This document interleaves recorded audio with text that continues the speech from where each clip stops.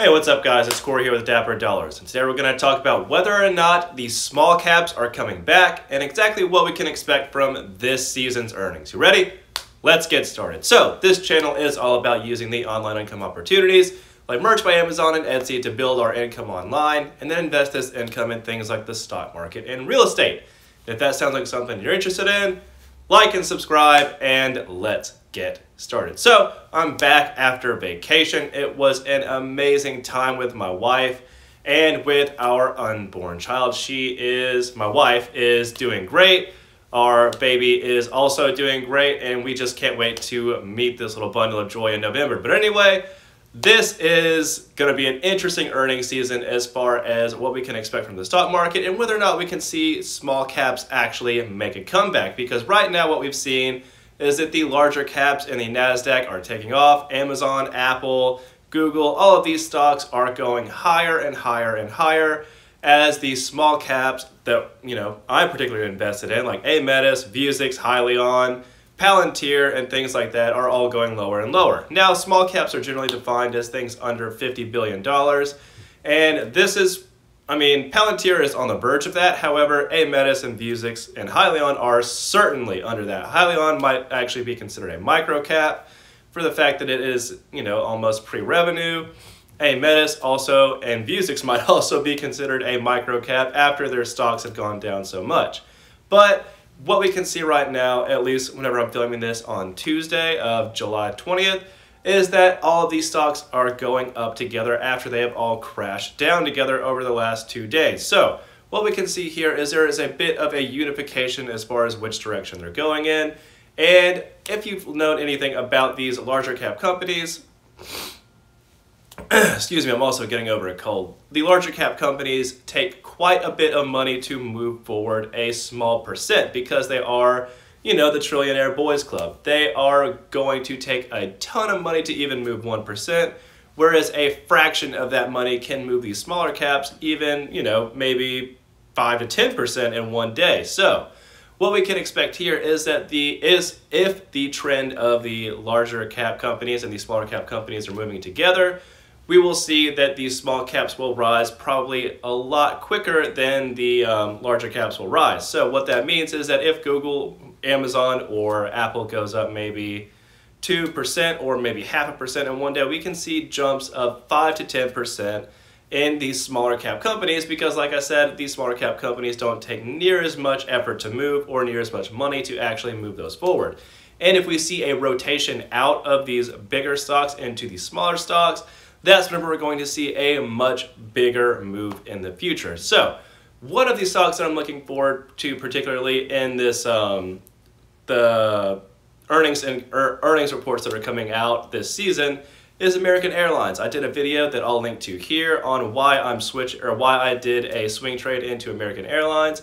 And I think that we're going to see some pretty amazing information there as far as opening back up, people getting back used to travel, and things generally looking up for the United States. Now I know that there is the Delta variant of COVID that's going around right now, and with this information, it has caused a slump, especially at the beginning of this week. Monday, we saw the information of the Delta variant come out heavy. So a lot of the stocks took a dive, but we have seen a um, resurgence of these stocks, which shows that the overall public of America is definitely certain that we are not going to see massive shutdowns like we did in the past.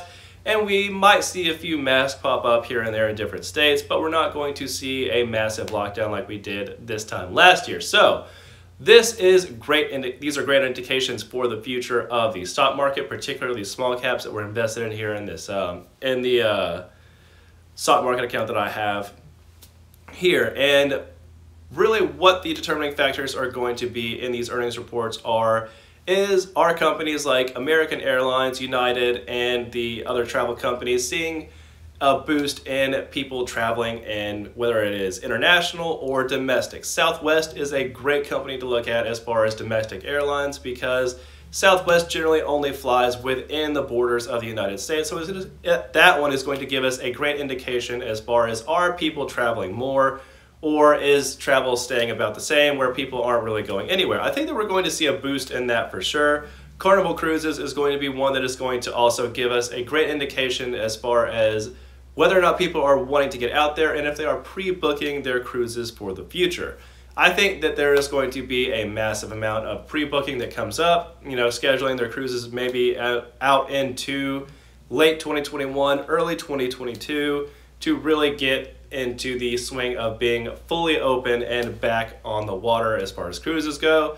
And then there are going to be the industrials. Are people still buying steel? Are people buying, you know, um, the main one that I'm looking at is John Deere and Toro Motors. Toro, Mo Toro Motors and John Deere are the companies that usually are the peak leaders of the landscaping and yard maintenance uh, companies. And what they do, as far as if they are up, is going to be an indication of people getting out there and getting back into the swing of normal life because it is going to mean that people who are maintaining their own homes or people who are doing landscaping as a business are able to purchase more and they're able to service more people and provide what is considered a service. Because we've seen a lot from 2020 to 2021 that people are really investing more or were investing more in products. But if we see that they're able to produce and turn more of a profit through John Deere and Toro and business like that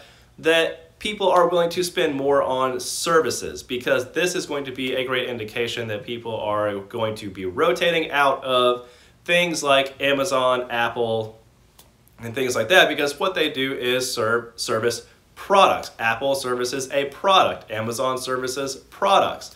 Amazon technically can be considered a service because they are providing a website, but what what's on that website is products. So we want to see people trend away from products.